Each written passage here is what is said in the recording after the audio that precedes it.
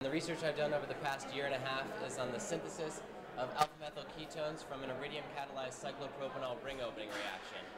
Essentially what we were trying to do was come up with a better way to access alpha-methyl ketones because some of the current methods are unselective and offer more than one product or require very harsh reaction conditions involving high temperatures at reflux um, or involving a flammable gas.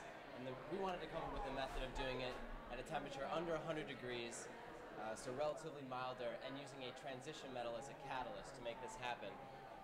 And we were successful in doing this. We used an iridium catalyst uh, using these reaction conditions seen here, and we were able to do this with using a variety of different starting cyclopropanols, and I show the variety of different cyclopropanols here to get a variety of different uh, alpha-methyl ketone products, all in very high yield in methods that were better than any of the current methods that have been used today.